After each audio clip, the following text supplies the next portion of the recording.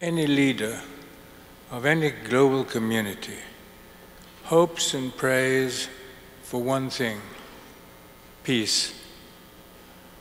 Peace in every community, in every country of the world, so that men and women can live in safety, build their futures with strength and courage and hope and wisdom.